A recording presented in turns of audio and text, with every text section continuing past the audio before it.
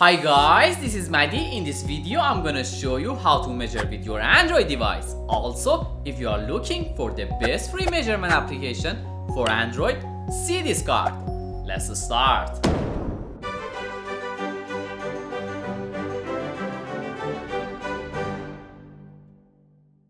First, open Play Store.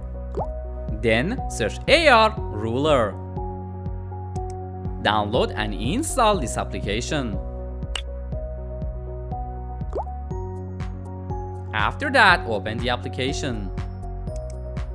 Because we want to use this application for free, close this page. Then choose while using the app. After that, tap on Allow. Select Get Started. In the first step, choose your unit. For example, let me choose inch. Then skip the tutorial and select a Start. Tap on Add. After that, choose AR Ruler.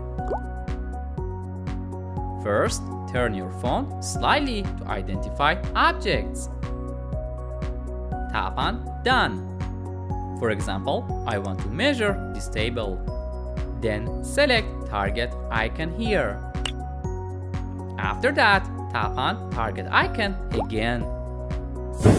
Now with this great application, you can easily measure your objects. I hope this video was useful for you. If you have any questions, please let me know. Don't forget to like this video and subscribe this YouTube channel. See you soon in the next video.